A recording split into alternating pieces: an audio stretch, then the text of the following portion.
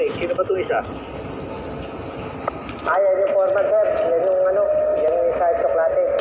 Sinabi ko na, eh, ibigay na kay Tip yung mga tsokolate. Ano yan, Jo? Kalaban? Eh, sir. Kakampi to. Tsokolate. Yung tsokolate. Pwede, titaba, sir.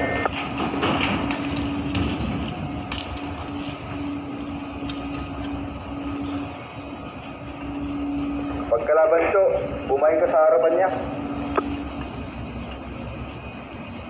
Dekado yan, sir. Boss, meron tayong patrangan na barko ha.